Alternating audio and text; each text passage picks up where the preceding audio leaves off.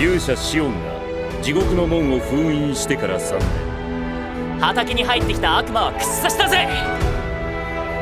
世界を救った男がこんな簡単に。あ死んでる。え？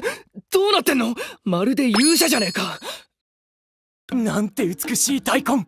まさに理想的なフォルム。なんでこんなのが幼馴染なんだろう。貴公を勇者シオンの姿にしたのはこの私だ。3年ぶりですね。お元気でしたか？アンリとは一緒に世界を救った仲さ。お久しぶりです。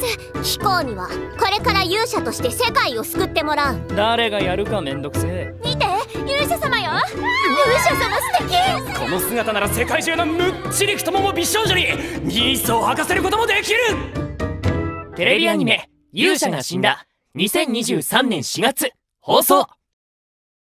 そろそろ本気出すか。